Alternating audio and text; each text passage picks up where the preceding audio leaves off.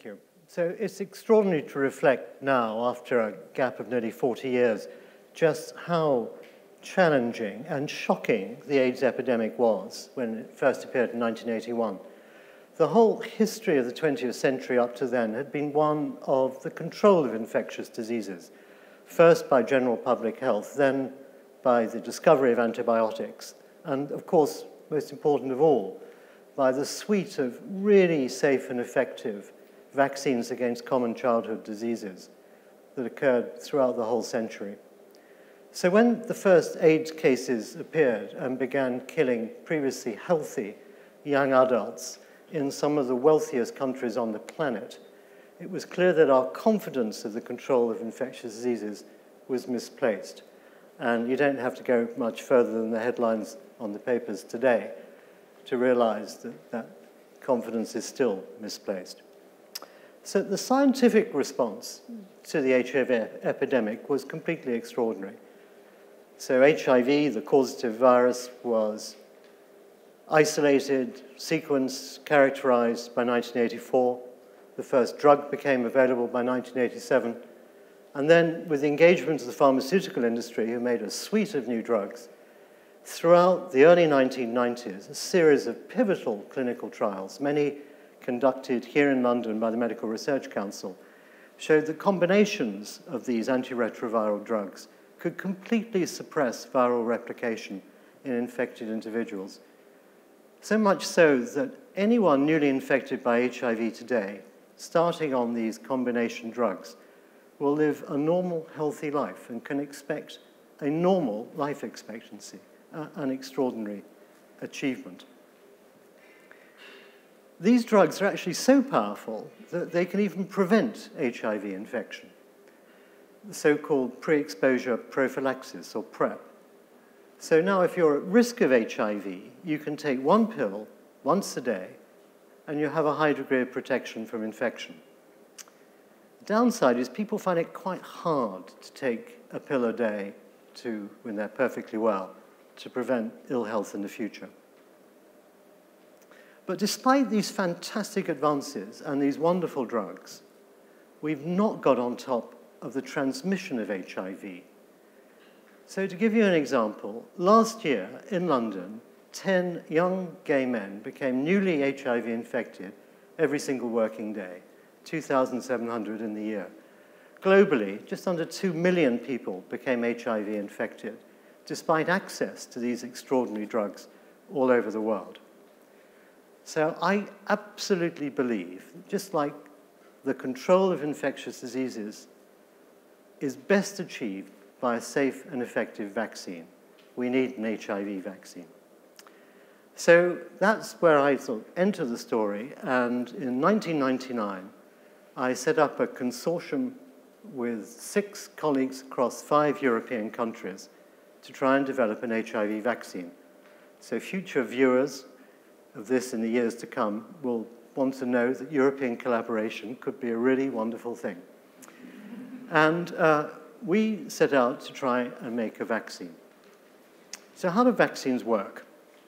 Well, vaccines are a way of mimicking real infection such that the body produces an immune response so that when, uh, with a long-lasting memory of that immunity, so that when you confronted by uh, the real infection in the years to come, your primed immune system is able to rapidly generate immunity to prevent infection taking hold.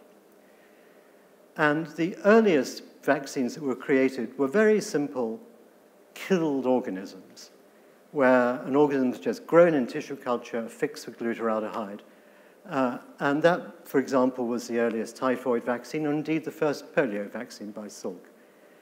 Subsequently, the childhood vaccines have used attenuated organisms, whereby viruses, for example, grown repeatedly in the laboratory in serial culture, and then selected for those which have no pathogenicity. They've lost the ability to cause disease, but are still able to replicate enough to induce the right immune response.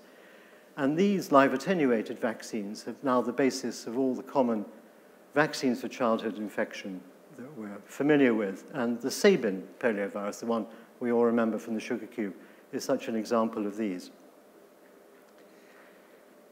So why don't we have a vaccine against HIV? Well, I believe there are three challenges that have to be overcome. The first is that there's no natural immunity to HIV. No one gets infected with HIV, mounts an immune response, shakes off the virus, never to be infectable again. And there's no real animal model for HIV. We can infect non-human primates with the virus, but they don't develop disease. Uh, and finally, the virus is highly variable, and that always presents a problem for vaccine development. So how did we get together and decide how to make one of these vaccines? So what we tried to do was to develop a strategy to produce the most durable, the most potent, uh, and the broadest immune response that we could. The earliest approaches for an HIV vaccine had tried a fixed inactivated approach, but the virus is very fragile, and the fixed inactivated virus was completely non-immunogenic. Then there was a great deal of attention to the outer shell of the virus. Now, the shell is the part of the virus that antibodies will bind to that will prevent infection. And so a great deal was work around work was done on these shell proteins as a vaccine. But they are poor at producing the right immune response.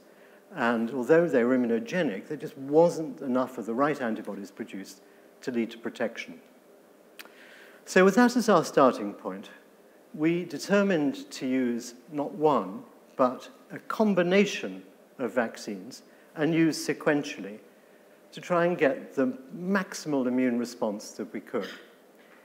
So we planned to prime with one vaccine and then come in weeks later and boost with another. And the other was slightly different in terms of its strain that it used to give a broader response uh, across the patch.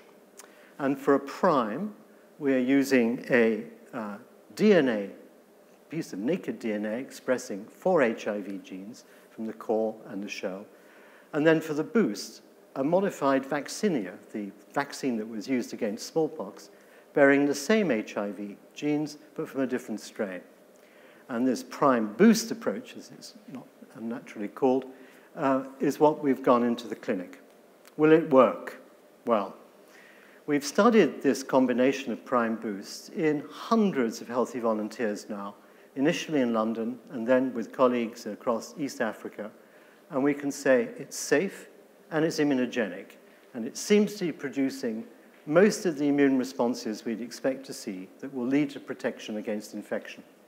But the only way to know what's going to happen is to do a field trial. And that is a trial we've called PrEPVacc, and we're combining these vaccines with pre-exposure prophylaxis, or PrEP, because our vaccines take quite a long time to induce immunity. The duration of immunization is long. And we're using the drugs to protect during that period. It's a combination protection approach. So PrEPVacc began last year. We begin immunizing in Uganda, Tanzania, Mozambique, and South Africa in healthy men and women in about two weeks' time.